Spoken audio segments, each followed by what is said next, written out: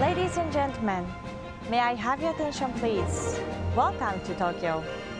Today, we'd like to introduce to you the town of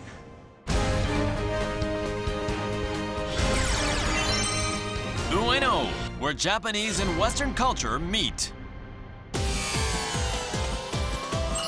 Ueno is one easy train ride from Narita Airport and easily accessible from central Tokyo.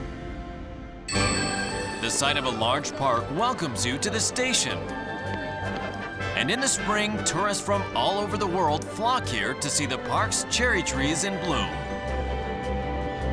National museums dot the area, which has been known as a center of arts and culture for generations. Today we'll be guided around Ueno by Welcome to Ueno. My name's Samuel Thomas and I'm a fashion journalist based the city. Samuel came to Japan from England five years ago to share Tokyo fashions with the world. Now, most tourists that end up coming to the Ueno area mainly go to the museums and the art galleries, but the area that I want to show you, it's called Ameyoko, and fairly fair price. In fact, I'd be really surprised if you could find anywhere cheaper in all of Japan. After World War II, Ameyoko sprang up as a black market. You'll find shops selling food, clothing, and various other goods lining its 400-meter street.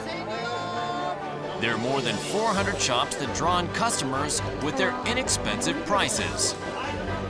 It's easy to see the appeal of the low prices at this snack shop. Tell you back welcome Tokyo. Thank Where you. From? England. England. Okay.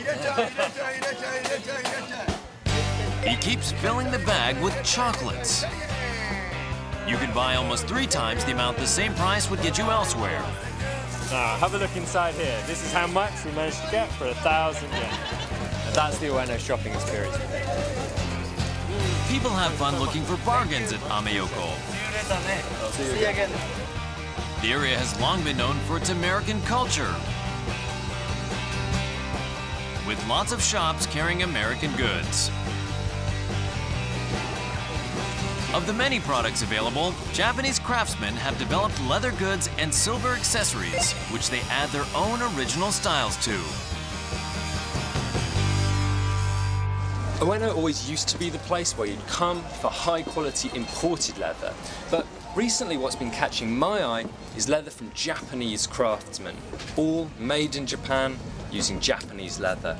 I want to introduce you today to some of my favourite shops in the Ueno area. And we're going to start here.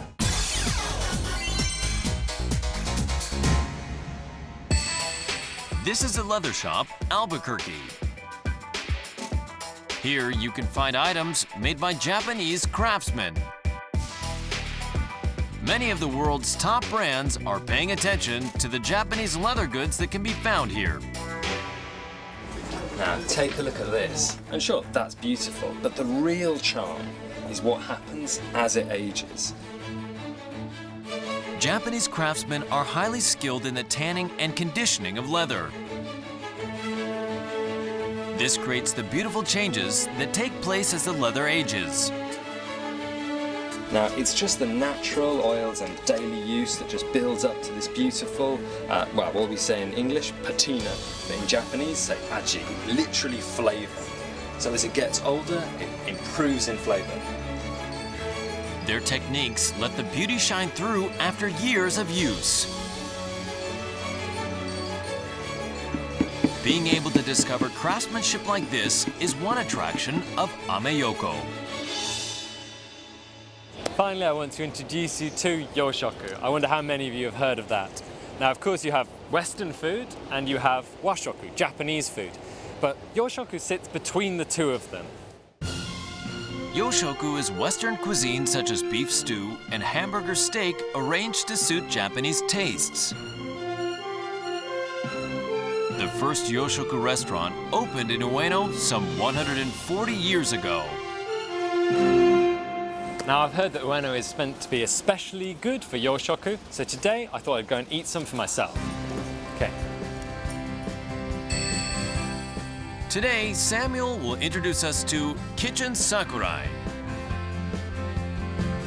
It uses premium ingredients to cook up authentic Yoshoku dishes. One of its most popular Yoshoku dishes is this.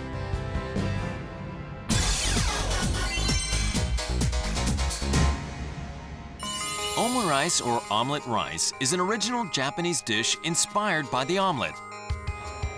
Seasoned rice is wrapped in a tender omelet. And it takes great skill to make sure the omelet doesn't tear during preparation. The dish is finished off with a demi-glace sauce that's been simmered for 10 days. Omurice is a dish that is loved by young and old alike. Okay, let's tuck in. Mmm. Mmm. Mmm, I've got to say that is very good. Very, very light and fine.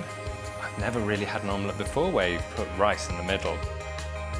I really like the spirit of Japanese cookery that leads to um, dishes like this. For me, that's the spirit of Ueno, and that's why I think you should pay it a visit. Once you've got the extra information, you can find Extra Tokyo.